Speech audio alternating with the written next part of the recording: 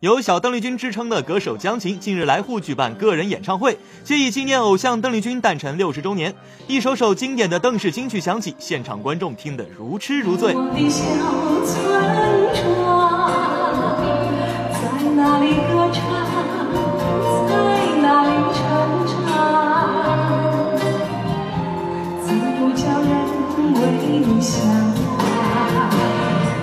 江琴自幼崇拜邓丽君，在漫长的学习和演出实践中，练就了酷似偶像的甜美歌喉。加上长相和邓丽君颇有几分相似，江琴也被歌迷亲切地称为“小邓丽君”。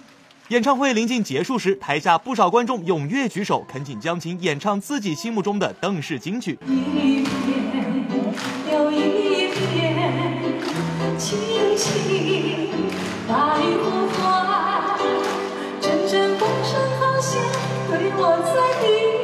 娱乐新天地，邓氏金曲永流传报道。